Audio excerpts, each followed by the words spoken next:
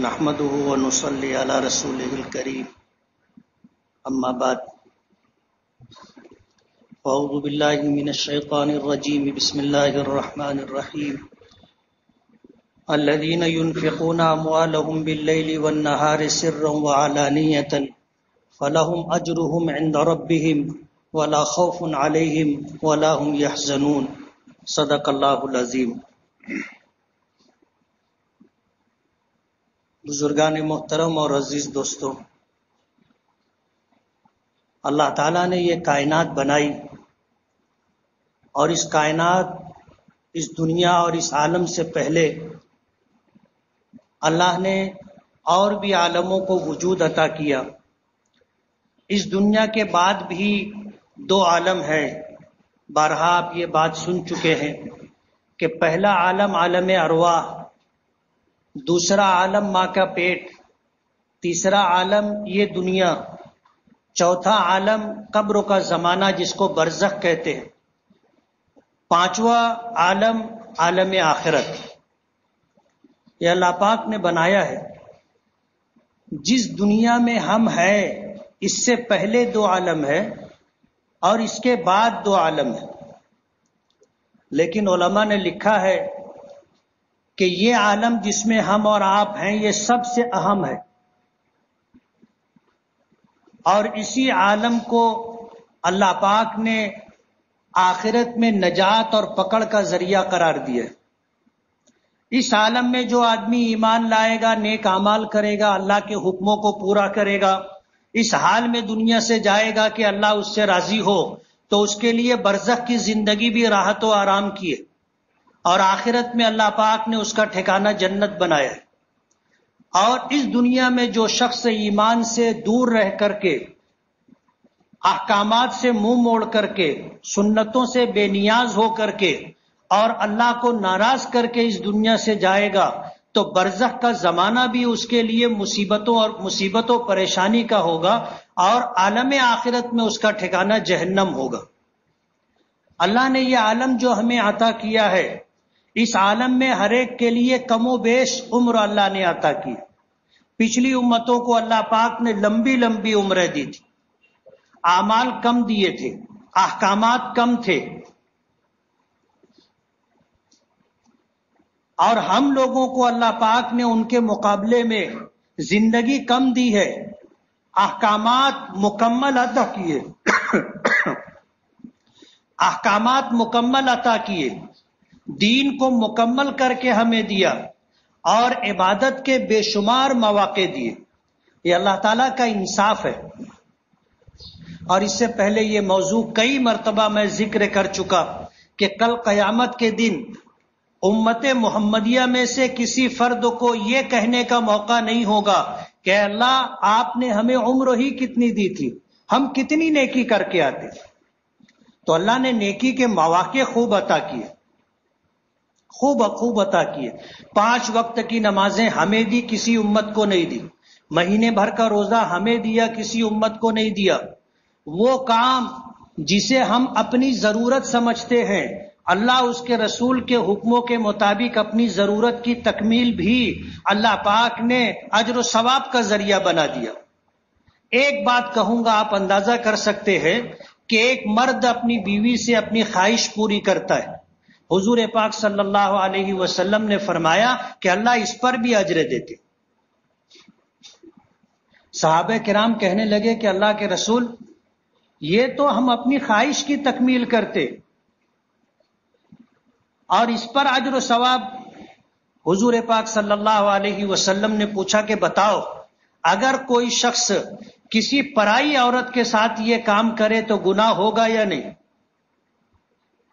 تو صحابہ کرام نے کہا کہ یہ تو بہت بڑا گنا ہے، یہ تو زنا ہے۔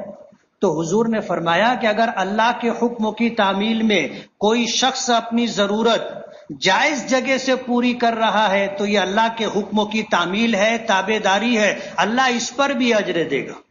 اور یہ بھی فرمایا کہ شوہر اپنی بیوی کے منہ میں جو لقمہ محبت سے دیتا ہے، اللہ اس پر بھی اجر دیتا ہے۔ آپ اندازہ کریں کہ اس امت پر اللہ پاک کے کتنے احسانات ہیں۔ عبادت تو اپنی جگہ ہے، اس پر اجر و ثواب تو ملے گا، لیکن پچھلی امتوں کے لیے جو چیز ضرورت تھی، ہماری بھی ضرورت ہے، ان ان کے لیے اس پر اجر نہیں تھا۔ ہمارے لیے اس پر بھی اجر راستے سے تکلیف دہ چیز کا ہٹا دینا بھی اجر و ثواب کا باعث ہے۔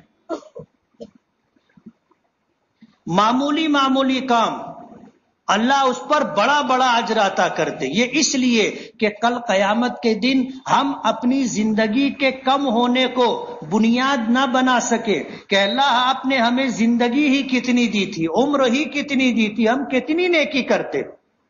پچھلی امتوں کو آپ نے ہزار سال کی عمر دی، ان میں ایسے لوگ بھی گزرے جنہوں نے پانچ پانچ سو سال تک اللہ کی عبادت کی۔ ہم تو کر ہی نہیں سکتے تھے۔ اللہ نے شب قدر دے دی، پنج وقت نمازیں دے دی، اشراق تحجد کی نماز دی، اشراق کی نماز دی، اوابین اور چاشت کی نمازیں دی۔ یہ عبادتیں ہمیں آتا کی تاکہ ہم اجر و ثواب میں ان کی برابری کر سکے، ان سے آگے نکل سکے۔ یہ اللہ کا انصاف ہے۔ یہ اللہ کا انصاف ہے۔ کہ اگر ان کو زمانہ زیادہ دیا تھا، عبادتیں کم دی تھی۔ ہم کو زمانہ کم دیا، عبادتیں زیادہ دی۔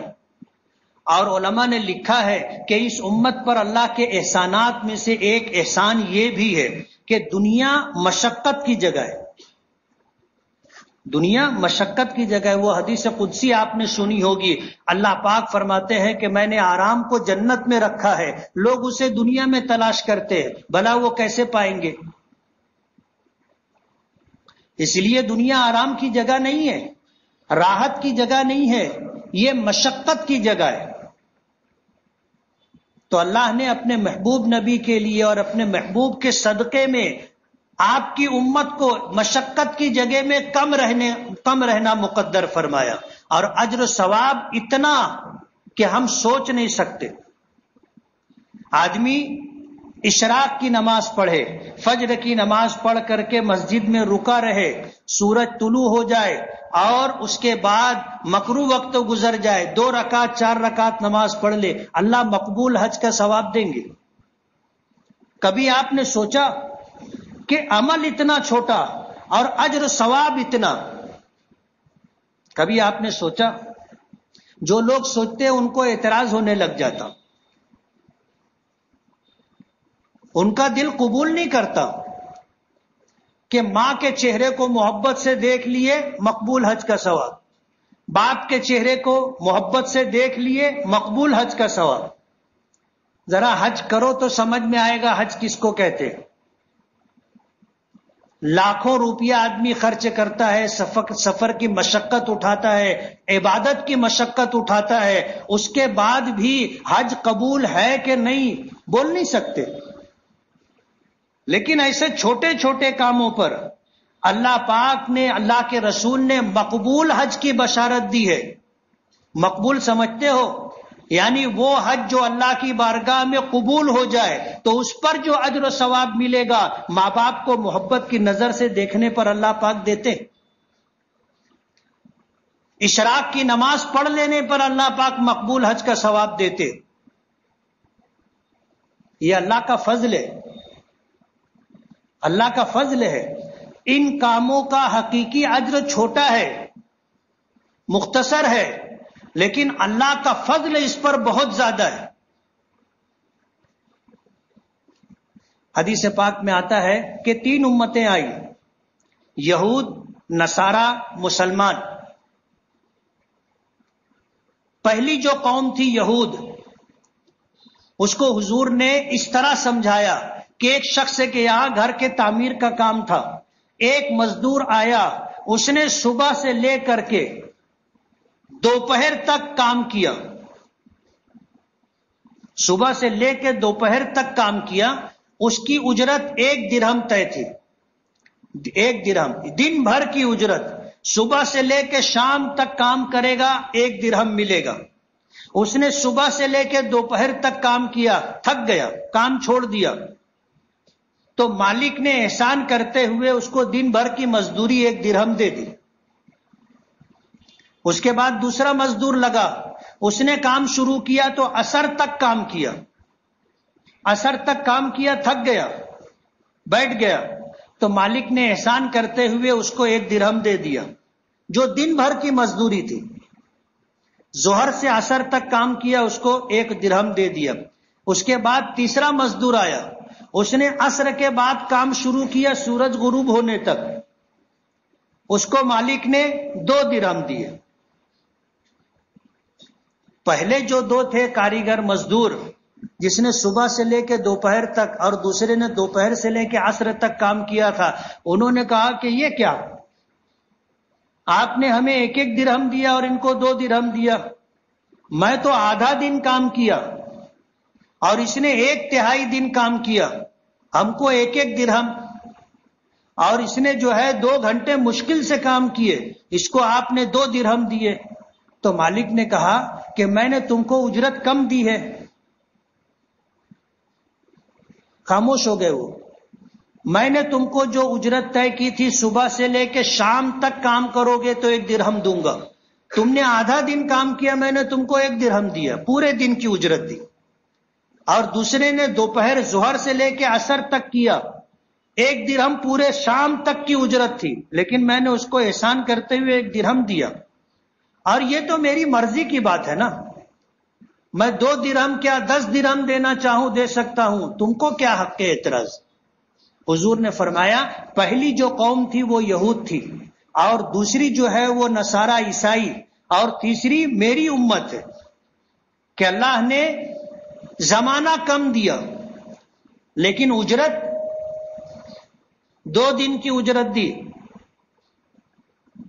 دو گھنٹہ کام کرنے پر دو دن کی اجرت دی۔ اور یہ حدیث بخاری شریف کی حدیث ہے۔ نبی کریم صلی اللہ علیہ وسلم کی امت کو اللہ پاک نے بے پناہ نوازا مشقت کی جگہ میں کم رہنا مقدر فرمایا اور اجر و ثواب بھرپور دیا۔ اس کے بعد بھی اگر کوئی نجات نہ پا سکے،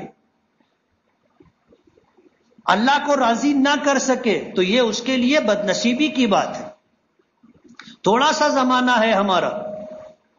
اور ظاہر بات ہے، تھوڑے سے زمانے میں تابے داری فرما برداری مشکل نہیں ہے، آسان ہے۔ اس دنیا کو اللہ پاک نے دار الاسباب بنایا ہے۔ یہ عالم اسباب ہے۔ عالم اسباب کا مطلب یہ ہے کہ نتائج کا ترتب سبب پر ہوگا۔ آپ کھاؤ گے تو پیٹ بھرے گا۔ کھانا سبب ہے اور پیٹ بھرنا نتیجہ ہے۔ آپ کو پیاس لگی ہے، آپ پانی پیو گے تو پیاس بجھے گی۔ آپ تھکے ہو، سو گے تو آرام ملے گا۔ تو تھکنا سبب ہے۔ نتیجہ آرام کا ملنا ہے۔ تو اس دنیا میں اللہ پاک نے تمام کاموں کو اسباب سے جوڑ کر کے رکھا ہے۔ کوئی چیز یہاں بلا سبب نہیں ہوتی۔ اور اگر کچھ ہو گیا اور لوگ کہیں ہم لوگوں نے کچھ نہیں کیا، تو آپ مانو گے؟ کسی نے تو کیا ہوگا نا؟ اور کچھ کیا ہوگا تو یہ ہوا، بغیر کیے کچھ نہیں ہوگا۔ یہ دنیا دار الاسباب ہے اور سبب پر نتائج کا ترتب ہوتا ہے۔ آج ہم جس زمانے سے گزر رہے ہیں، یہ بارش کا موسم ہے۔ یہ بارش کا موسم ہے۔ اللہ کے رسول صلی اللہ علیہ وسلم نے ہمیں خبر دی ہے۔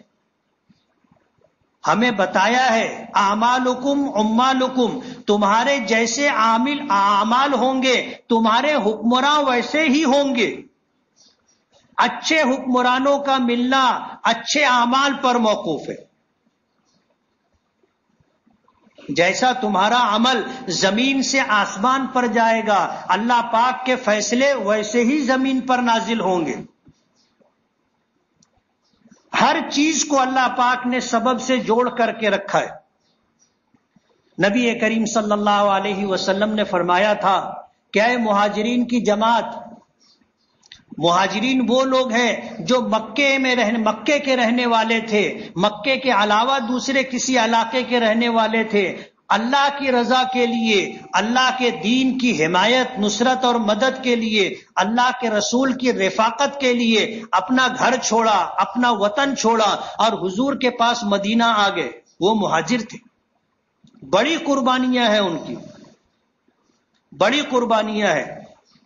حضور نے فرمایا کہ میری میرے صحابہ ایک مٹھی جو اللہ کے راستے میں صدقہ کرے، بعد میں آنے والے اہد پہاڑ کے برابر سونا صدقہ کریں گے، تو اجر و ثواب میں برابری نہیں رہے گی۔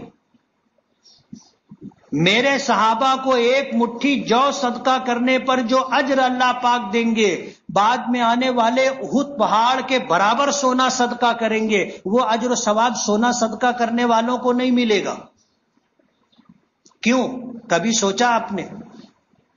یہ وہ لوگ تھے صحابہ کرام کہ جب دین کو ضرورت تھی تو انہوں نے اپنی جان، مال، اپنے بیوی بچے، اپنا گھر بار سب سب قربان کر دیا تھا۔ سب قربان کر دیا تھا۔ کوئی کسی چیز پر اپنا حق نہیں رکھا تھا۔ ہماری جان اللہ کی، ہمارا مال اللہ کا۔ ہماری عزت و آبرو اللہ کے لیے، ہمارے بیوی بچے، اللہ اس کے رسول پر قربان۔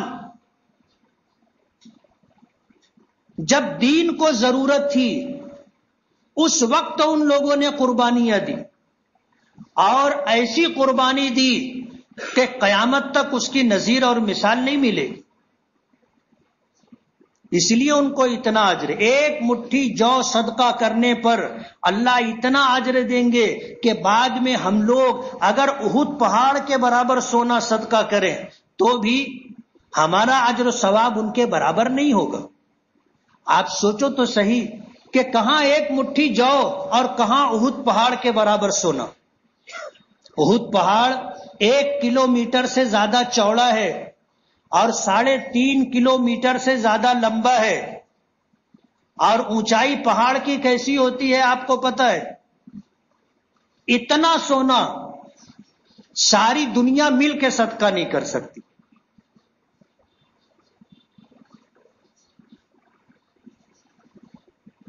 تو صحابہ کرام کی وہ قربانی تھی۔ جب دین کو ان کی ضرورت تھی، اسلام کو ان کی ضرورت تھی، اس وقت انہوں نے قربانیاں دی تھی۔ حضرت عمر کا زمانہ آیا، زکوٰۃ کے تعلق سے حضرت عمر کا فیصلہ تھا کہ قرآن کریم میں وہ لوگ جو معلفت القلوب ہوتے یعنی دن کی، جن کی دل جوئی کے لیے زکوٰۃ ان کو دی جاتی ہے۔ اب وہ ختم۔ لوگوں نے کہا کہ اللہ کے رسول کے زمانے میں دیا جاتا تھا۔ ابو بکر کے زمانے میں دیا جاتا تھا۔ آپ نے کیوں بند کر دیا؟ کہا کہ اب اسلام کو کسی کی ضرورت نہیں۔ کسی کی دل جوئی کی ضرورت نہیں ہے کہ اسلام کے تئیں ان کے دل نرم رہے۔ وہ زمانہ گزر گیا۔ اب اسلام کو کسی کی ضرورت نہیں ہے۔ اسلام لوگوں کی ضرورت ہے۔ اسلام کو کسی کی ضرورت نہیں ہے۔ وہ زمانہ تھا۔ نبی کریم صلی اللہ علیہ وسلم نے کہا تھا کہ مہاجرین کی جماعت، اگر تم پانچ چیزوں میں مبتلا ہو جاؤ گے تو تم پر ایسی مصیبت اور پریشانی آئے گی۔ میں اللہ سے دعا کرتا ہوں کہ تم ان برے اعمال میں مبتلا نہ ہو۔ سب کے کان کھڑے ہو گئے کہ کیا ہے؟ حضور نے فرمایا، جس قوم میں بے حیائی عام ہو جائے گنا الل اعلان ہونے لگے تو ایسی نئی نئی بیماریاں آئیں گی جن کا نام بھی کسی نے نہیں سنا ہوگا۔ آج زمانہ ایسا ہی ہو گیا ہے۔ زمانہ ایسا ہی ہو گیا ہے۔ لوگ پوچھتے کیا ہوا؟ بولے کوئی بیماری ہو گئی ہے۔ کون سی بیماری؟ بولے نام سنا تھا، یاد ہی نہیں۔ ایسا نام ہے کہ میں بتا نہیں سکتا، بول نہیں سکتا۔ لاکھوں میں کسی ایک کو وہ بیماری ہوتی۔ جب قوم میں بے حیائی عام ہو جائے گی اور بے حیائی کے کام الل اعلان ہونے لگیں گے، تو ایسی نئی نئی بیماریاں آئیں گی کہ جن کا نام بھی آپ نے نہیں سنا ہوگا۔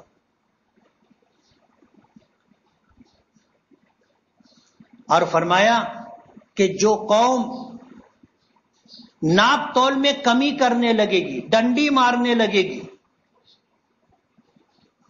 تو اللہ تعالیٰ ان پر قحط سالی مسلط کر دے گا۔ آج دیکھ لو، کاروبار کے تمام شعبوں میں اب یہ بات عام ہو گئی۔ ڈنڈی مارنا، ناپ تول میں کمی کرنا، نیا نیا طریقہ اختیار کیا جاتا ہے اس کے لیے۔ نیا نیا طریقہ۔ فرمایا کہ جو قوم ناپ تول میں کمی کرنے لگی، یہ اللہ تعالیٰ قحط سالی مسلط کر دیں۔ تیسری چیز، جو قوم زکات روک لے گی، اللہ بارش روک لے گا۔ بارش نہیں ہو رہی۔ اور پوری دنیا کے حالات پر مسلمانوں کا عمل اثر انداز ہوتا ہے۔ ظاہر بات ہے زکات ہم پر فرض ہے۔ ہندوؤں پر زکات فرض نہیں ہے۔ دوسری قوموں پر زکات فرض نہیں ہے۔ ہم پر زکات فرض ہے۔ ہم پوری پوری زکات دیں گے۔ اللہ تعالیٰ پوری پوری بارش عطا کرے گا۔ ہم زکات دینے میں کاٹ چھاٹ کریں گے، بارش کم ہوگی۔ اور اگر ہم نے زکات نہیں نکالی زکات نہیں دی، اللہ بارش روک لے گا۔ حضور نے فرمایا کہ اگر انسانوں کے علاوہ دوسری مخلوقات نہیں ہوتی، بے گنا مخلوق، جانوروں کا کیا؟ اگر وہ مخلوق نہ ہوتی تو اللہ ایک قطرہ بارش کا نہیں برساتا۔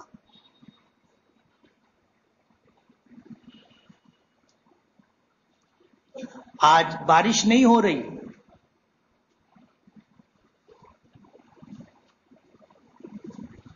دیوبند سے لے کر کے مالے گاؤں تک۔ دیوبند ہم لوگ پہنچے دو دو ایک، دو رات اور ایک دن اچھی بارش ہوئی۔ ہم لوگ جب تک رہے بارش رہی، رات بھر بارش ہوتی رہی۔ دن میں کچھ بارش ہوئی، کچھ کھلا رہا، پھر رات بھر بارش ہوتی رہی۔ سرہند جانا ہوا ہمارے کچھ ساتھیوں کا۔ اتنی بارش ہوئی کہ راستے بند ہو گئے۔ ندی نالوں میں اتنا پانی کہ گاڑی ڈالنے سے لوگوں نے منع کیا کہ گاڑی مت ڈالو ورنہ گاڑی بہ جائے گی۔ لمبا راستہ طے کر کے آنا پڑا۔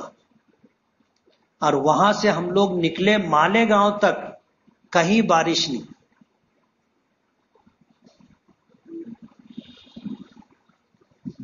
فرمایا کہ جو قوم زکات روک لے گی، اللہ اس پر بارش روک لے گا۔ اور اگر جانور نہ ہوتے تو ایک قطرہ بارش کا نہیں برستا۔ اور جو قوم اللہ کے احکامات کی خلاف ورزی کو اپنا معمول بنا لے گی، اللہ تعالیٰ اس میں خوریزی عام کر دے گا۔ آپسی جھگڑا، جان لینا، قتل و غارت گری عام ہو جائے۔ اللہ کے احکامات کو ہم نے چھوڑا الل اعلان۔ آپ دیکھ لو، نماز کے لیے، پانچ وقت کی نمازوں کے لیے کتنے فیصد لوگ مسجد میں آتے ہیں؟ مسجد کی شاپنگ سینٹر میں جن کی دکانیں ہیں، وہ بھی نماز کے لیے مسجد میں نہیں آتے۔ ان دکانوں پر جو گاہک کھڑے ہوتے ہیں، مسلمان، وہ بھی نماز کے لیے مسجد میں نہیں آتے۔ مسجد کے سامنے سے گزرتے ہیں، دیکھتے ہیں کہ جماعت کھڑی ہے، نماز کے لیے مسجد میں نہیں آتے۔ ہوٹلیں آباد ہیں، بیٹھکیں آباد ہیں، چوک چوراہے آباد ہیں، کاروبار چل رہا ہے۔ نماز کے لیے لوگ نہیں آتے۔ یہ اللہ کے احکام کی کھلم کھلا خلاف ورزی ہے۔ لوگ بیٹھے رہتے ہیں، اپنے نماز کے لیے آنے لگو، ان کو بولو کہ چلو یار نماز پڑھ لو۔ بولے ہاں چلو، آؤ کوئی نہیں آتا۔ بولنے کے بعد بھی لوگ نہیں آتے۔ جس قوم میں اللہ کی احکام کی خلاف ورزی علل اعلان ہونے لگے، اللہ تعالیٰ اس میں خوریزی عام کر دیتا ہے۔ آپ دیکھ لو، ایک دم یعنی جو کچھ فرمایا گیا وہ ہماری آنکھیں دیکھ رہی ہیں۔ کسی کو اس میں فرق نظر نہیں آئے گا۔ مجھے جو بات کہنی ہے کہ اللہ نے تمام چیزوں کو اسباب سے جوڑ کر کے رکھا ہے۔ بارش نہیں ہوگی تو کیوں نہیں ہوگی بتا دیا گیا۔ نئی نئی بیماریاں آئیں گی تو کیوں آئیں گی بتا دیا گیا۔ قحط سالی مسلط ہوگی تو کیوں مسلط ہوگی بتا دیا گیا۔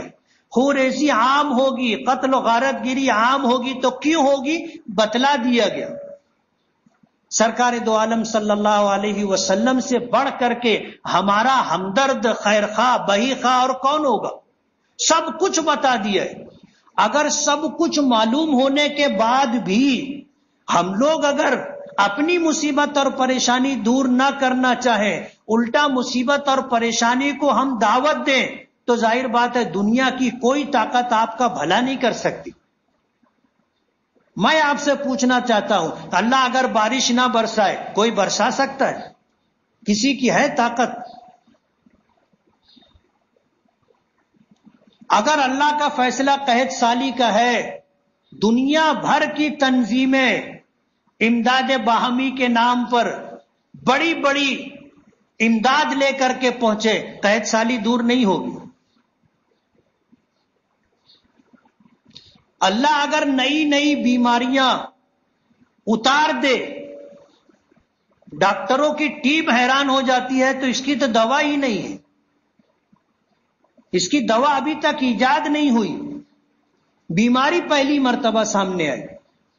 دنیا قدرت کے سامنے آجز ہے۔ ہمارا علاج کہاں سے ہوگا؟ جس نے بیماری دی ہے، وہی ہمارا علاج بھی کرے گا۔ اس کے علاوہ کوئی نہیں ہے جو ہمارا علاج کر سکے۔ اور نبی کریم صلی اللہ علیہ وسلم نے ہمیں سب کچھ بتلا دیا ہے۔ کوئی چیز ایسی نہیں ہے جو ہمیں نہ بتائی گئی ہو۔ بتلا دیا کہ نئی نئی بیماریاں آئیں گی تو کیوں آئیں گی؟ قحط سالی مسلط ہوگی تو کیوں ہوگی؟ بارش رکے گی تو کیوں رکے گی؟ خوریزی عام ہوگی تو کیوں عام ہوگی؟ بتلا دیا اگر جاننے کے باوجود ہم اپنی مصیبت اور پریشانی دور کرنے کے بجائے ان کو دعوت دے، تو پھر اس کا علاج نہیں۔ آج اگر بارش رکی ہے، قحط سالی کی نوبت خدا نہ خواستہ آ جائے، تو اس کا علاج یہ ہے کہ ہم پوری پوری زکات ادا کریں۔ اس کا علاج یہ ہے کہ ہم ناپ تول میں کمی نہ کریں۔ بلکہ حضور نے فرمایا، زن ورجہ، کہ جب تم وزن کرو تو تھوڑا جھکتا تولو، جب دو تو تھوڑا بڑھا کر کے دو۔ ہم دکان پر جاتے ہیں کوئی چیز خریدنے کے لیے۔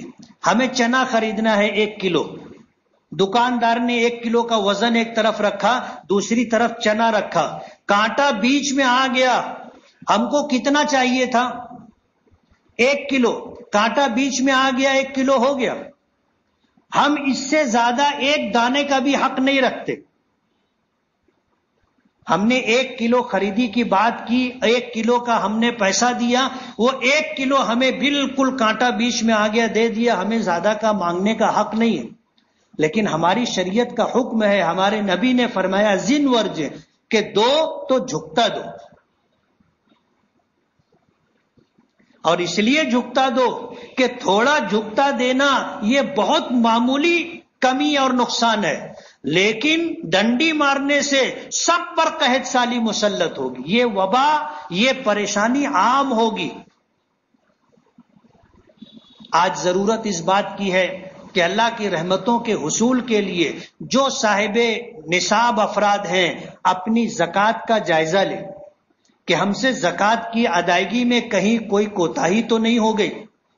ذرا سا بھی شک شبہ ہو اس کو دور کر لے۔ اور عام لوگوں کے لیے جن پر زکات فرض نہیں ہے، اللہ پاک نے فرمایا کہ استغفروا ربکم انہو کانا غفارا یورسلی سما علیکم مدرارا۔ تم اپنے گناہوں کی اپنے پروردگار سے معافی مانگو، اللہ تم پر موسلا دھار بارش برسائے گا۔ موسلا دھار بارش۔